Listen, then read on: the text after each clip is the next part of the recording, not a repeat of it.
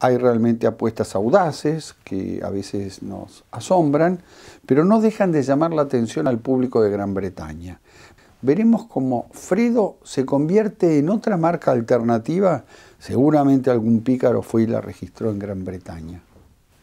Unfortunately, we would love it to be Freddo, but there is the, the term Freddo is already copyrighted in the UK, so we tried to get as close to that as possible.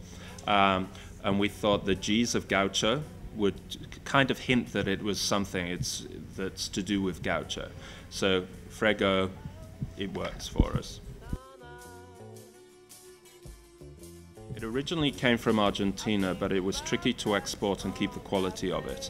So what we now do is we have the master ice cream makers. There are three Fredo master ice cream makers. They come across to a special ice cream factory that we have here, and they make the ice cream for us. So they come across four times a year, and we'll hand make the ice cream.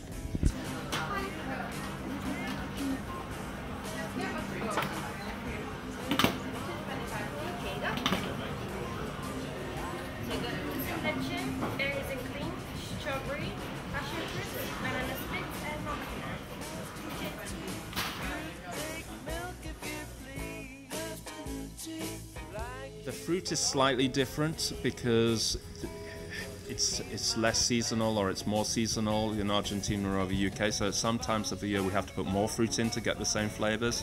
Uh, but the dulce de leche we get and we bring from Argentina, uh, the chocolate, it's all it's all pretty much the same. In Freda we do alfajores. We have a Fernando Trocca, who's our exec chef of Gaucho, has a pastry chef called Pamela who is an outstanding pastry chef. She comes across and she's created a series of um, desserts for us that we sell. They're Argentine inspired desserts with lots of dulce de leche, lots of chocolate, lots of fresh fruit, but beautiful, beautiful desserts. We also have, as I say, media lunas uh, for breakfast, and there are a lot of Londoners love to come in, get a great hot chocolate and media luna.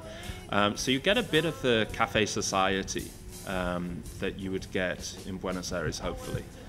We're very aware that in Argentina you have these great banks of um, mopeds and you can take the ice cream to your home and to your workplace and we wanted to capture some of that.